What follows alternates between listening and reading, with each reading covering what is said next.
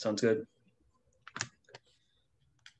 Uh, ben, I guess the first question is just what made Maryville College the right choice in terms of you know taking the head coaching gig and and whatnot. Yeah, to me it was pretty. It was a slam dunk. It was an opportunity to be in a league that I'm familiar with, in a part of the country that I'm familiar with. I'm from Johnson City. It's an hour and a half from my parents at a school that is has a great reputation and has a lot of football tradition. There's not there's not many schools that are have played football at the Division three level in the South for as long as Maryville's played. We're talking about over hundred years. There's only four, right? It's it's Centre, Maryville, Rhodes, and Sewanee are the only ones that have done it, and so that makes it really attractive because there's a lot of support when you've played football at a school that long it's really important. And when you're a football coach, it's important to work at places where football's important. That that makes your job a lot more fun. Obviously, you from being coming from Centre, you've been able to play the Scots the mm-hmm. last few years. I guess what's your what's your impression of the program that you're kind of taking over right now, having played them the last few years? I will tell you, it's just like what I told the uh, the players, some of them on the interview, what I told the coaches today in the uh, in our staff meeting. This is not a complete rebuild. It's not a down to the studs because there are players on this team that played in the playoffs the last time we played in the playoffs at Centre, right? Now, I wouldn't be working here if there were not some things that needed to be addressed and some changes that need to be made too. So we have to address them and we have to change them. But there is talented players here going even back to when I was at Huntington for five years before going to Centre we always had very intense and very competitive games with Maryville, and they always had really talented players that played really hard. It was very physical football games. It was, I would tell our guys, I would tell them all the time, tell them at Centre, would tell them at Huntington, when you're playing Maryville, you better strap your chin strap on. It's going to be a very physical game, and you'll know what college football is after the game. My hope is that everybody that plays us from here on out says the exact same thing. You'll know what a college football game is after you play them and you'll know exactly what that looks like. So I think there's a lot of talent here. I think it's it's a young team. You do a roster assessment, there are 20 juniors and seniors on the team, right? Of a hundred and three or four that have reported right now, that's 80 at least 80 to 85 guys on the team that are freshmen or sophomores that don't really know what college football is that have to learn right so that's exciting and a little bit scary because they don't know. And but it's our job as coaches to teach them and to make sure that they're having the experience that they deserve, which is learning learning how to be committed, right? Learning about sacrifice, being together, working as hard as they can, and having a brotherhood and a family, graduating and seeing value in their degree, and winning a lot of football games while we do it. It's obviously a group that has never gone through anything like this in terms of coaching, a, a coaching change. I mm-hmm. guess in that team meeting, what was your message, and I guess how do you feel like they reacted to it? Well, that was the the guys I talked to. Now this was on in an interview process, so I'm mm-hmm. excited to see what the, okay. the, the team meeting reaction is going to be like tonight. We're going to meet with them at 7:30. Uh, so I am excited. I do know this: the three or four guys that I knew on the roster from recruiting have already FaceTime me or called me or texted me and seem to be very excited. They've not done one practice with me yet, so that may mm-hmm. change. but they all knew my they had my cell phone number and they all seemed really excited, which that gave me a lot of energy. That gave me a lot of energy and really excited me. And, and I'm looking forward to getting to work with them. What are your plans in terms of staff? Will you have meetings things with you know guys who are already there, and do you also plan on bringing your own guys of of that sort? I think it'll be a mix. You know, we've got some good coaches on yeah. the staff. We've got some good coaches on the staff, and some guys that I've gone up against for a long time that have been really good coaches and always put products on the field that were really talented and played hard and played intelligently. I respect that a lot. Right now, obviously, when you come in as a new coach, and there are changes that need to be made in order to enhance the culture of the program. You need some of your own guys that view the world the way you do, right? None of the coaches on the staff right now, just like none of the players, came here to play for me or work for me. So I will need to bring in some guys that are coming here because of me eh, You know, we are going to need that, but we have to indoctrinate them in what our culture is going to be, teach them how it's going to be, teach them how we're going to behave every day, how we're going to coach the players, what we're going to do. And I think the ones that fit that are going to stay, and the ones that won't, we'll make a decision about.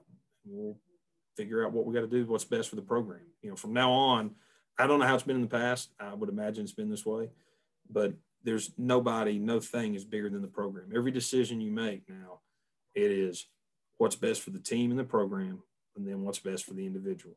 That's dealing with players on a, on a personal level with playing time or whatever decisions, you know, disciplinary decisions or whatever. Going to do what's best for the team, then what's best for the individual. It's the same thing with coaches. We have to do what's best for the program, best for the team. Then we have to do what's best for the individual.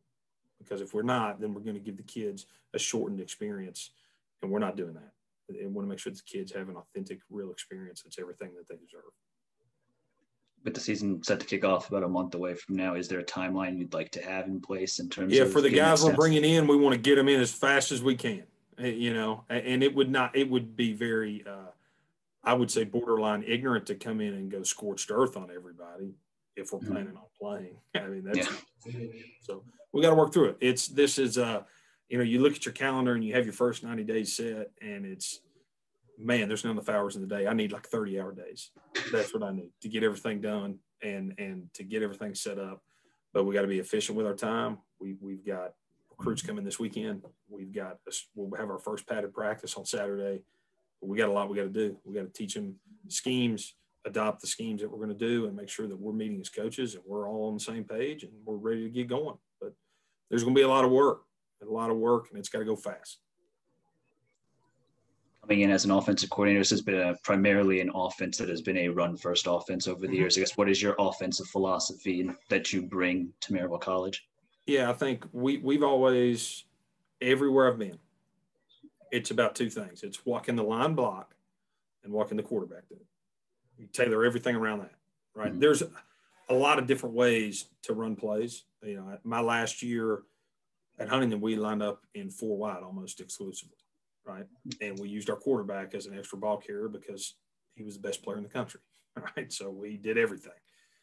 I've had big tight ends at, at Centre. We've been more two tight ends, and we've had some guys that we threw the ball down the field a bunch. It just we have to marry what we're doing to the scheme uh, or to the players, right? Whatever they can do well, we have to fit our scheme within that. Our system has enough avenues that it can take that we figure out what the guys can do, who the players are that we can count on, and the ones that are going to make plays.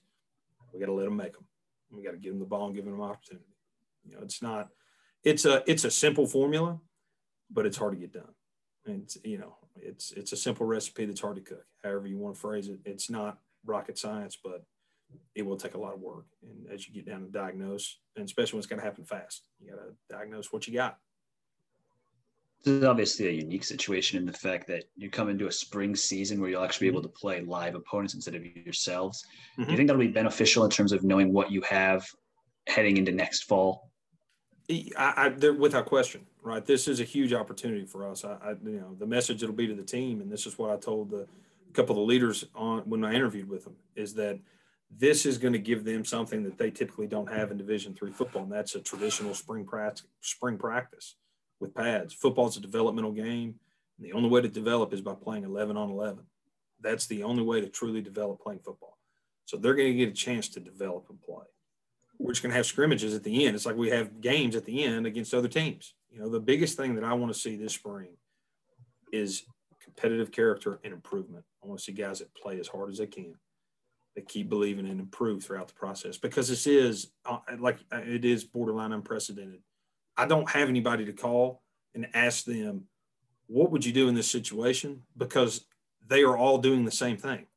They, we're just going to talk to circles to each other, right? I don't have anybody to call to ask them, hey, how do you handle the most intense recruiting season you have while you're also game planning? Nobody knows. Ask the basketball coaches. They're the only ones that have experienced that, you know because as you look at the timeline of Division three, normally with football, we're all recruiting, all recruiting. It's all it is right now, right? So it's everything is completely different. It's turned up on its head. We have to just get in, look under the hood, see what we have, and uh, get to work and, and build a system around the players we have. Then it'll give us a chance to get a good evaluation on what we have and continue with recruiting and build towards what we hope will be a very exciting fall. But don't mistake this now. Don't we want to win the games. Okay. We're playing to win. Don't don't don't I don't don't mistake what I'm saying. We're gonna play to win. There's a scoreboard there for a reason. If they're gonna turn it on, then we plan to try to light it up. You mentioned culture earlier. I guess what is the culture that you want to create within this program? And I guess off of that, two, yeah. three, four, five years from now, where do you see this program being? Yeah, I, I want this to be a program that is continually competing for conference championships and playoff berths and competing and winning playoff games. That that's ultimately what I want it to be, right? Mm-hmm. But my vision for the program is that it is a program and playing football at Maryville is one of the most incredible experiences of our players' lives. That's it. I don't want it to be the best experience of their life. I want all of them to get married and have kids and have a great time, you know, all that stuff. I don't want this to be the best thing that they do. I want them to do more stuff that's great, but I want this to be a springboard for opportunity. I want to I want this to be a program and through their experiences here that creates men that are finishers, finish raising their children, finish their marriages, and just le- learn how to be uh, selfless and courageous. And courage is the absence of self, and men that understand that and create men that understand that. Right now, how do we do that? Every day, core values, right? The core values we'll have because scheme changes, right? If you're smart, even at places like Alabama, where they get the best players in the country, the scheme changes on a year to year basis. That's your job as a coach, right? To put the scheme around the players. But the core values can't change, right? The first one is, is love. And I'll say this all the time to the players the team that loves each other the most is a team that'll win. And that, how do you get to where you have a team that loves each other? It starts out with respect. And if they come in and at least initially respect each other, because we all should respect each other right, And in a family. Then we can begin to trust each other. And if you have a team that trusts each other, then you have a team that loves itself, loves each other, right? And you got all those things together. The team that loves each other the most and has those connections, that's usually the team that wins. The second one's accountability. And each of us will need all of us. The players will be accountable to the coaches. The coaches are accountable to the players, and the players are accountable to each other.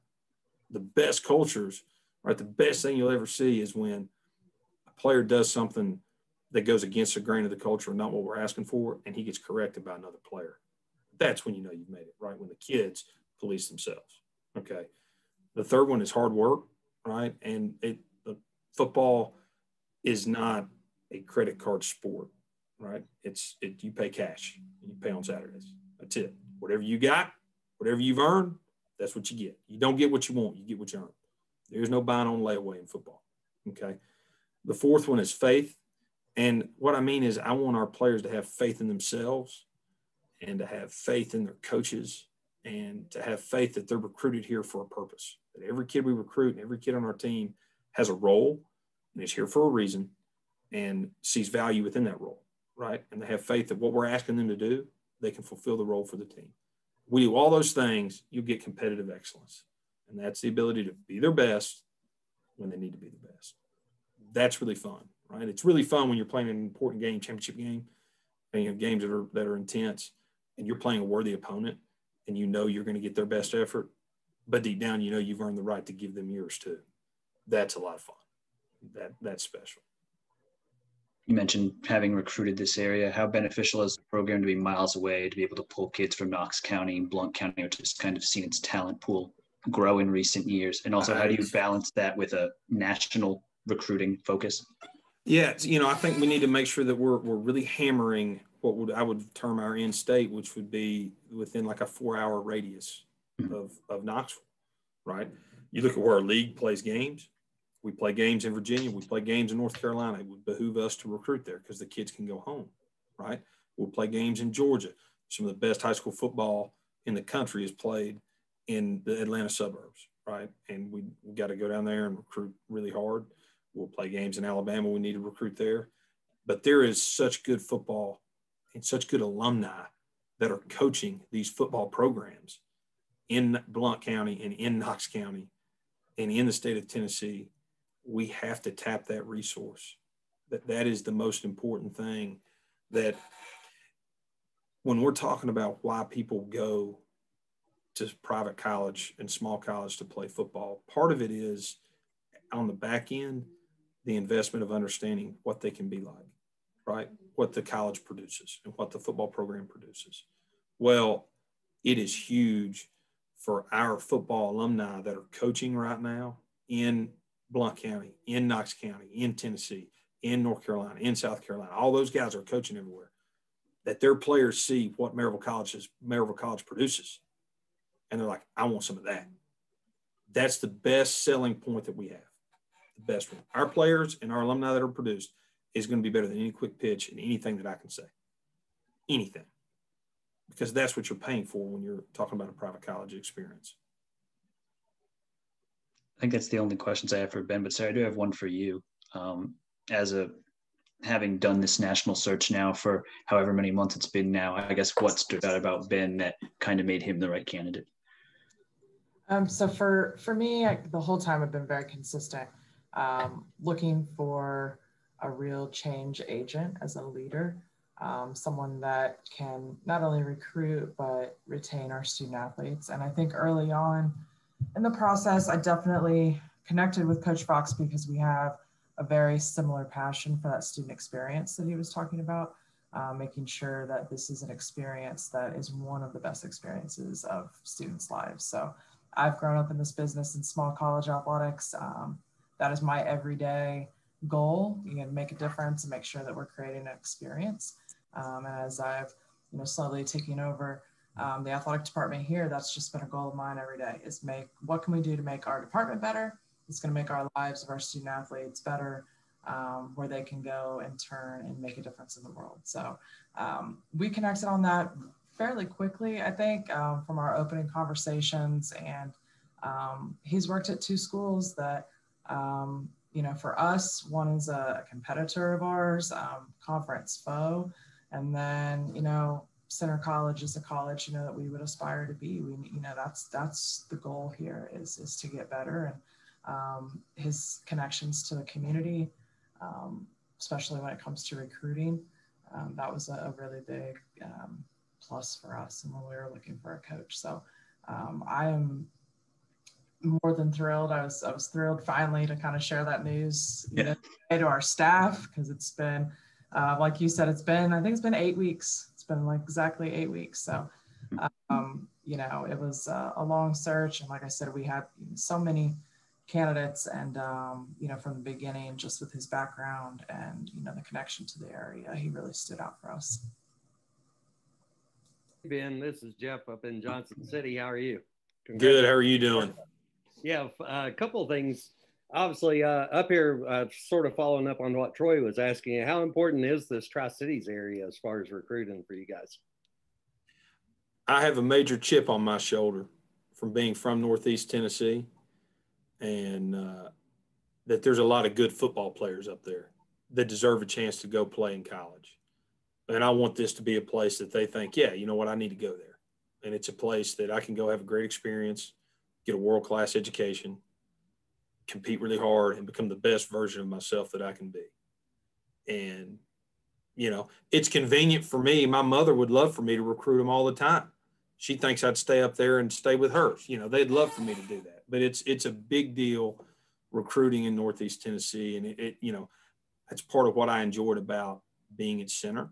I was able to rekindle a lot of those relationships with guys that I played for, I played against as players and as coaches. And it's just really, really fun. I've gotten a ton of, of contact from those guys and, and heard a lot of just really positive positive things, and it's been a lot of fun uh, to know that.